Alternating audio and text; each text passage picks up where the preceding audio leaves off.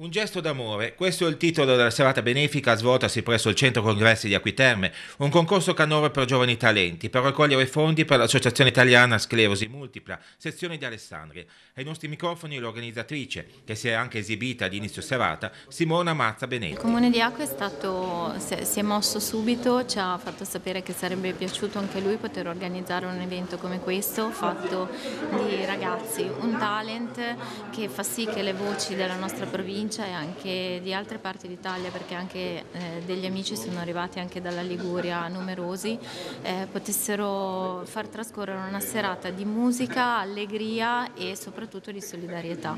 Una solidarietà che è mirata perché andrà eh, direttamente a ehm, a finire ad Alessandria dove c'è la sede locale dell'AISM in modo tale che questi contributi vengano poi spesi sul territorio in modo mirato. Ogni sezione ha comunque un, uh, determinate problematiche del territorio che gestisce e sicuramente conosce in maniera approfondita e, e questo fa sì che con questi eventi sia possibile aiutarli a svolgere nel modo migliore il, il loro lavoro. Durante la serata, che ha abissato il successo di quella svoltasi l'estate scorsa a Cremolino, sono stati raccolti 750 euro grazie alle offerte del pubblico che ha assistito ad un evento benefico ma anche divertente.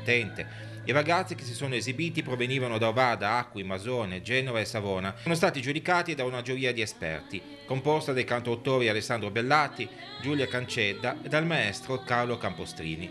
Si sono esibiti accompagnati da splendide coreografie e da ottimi musicisti.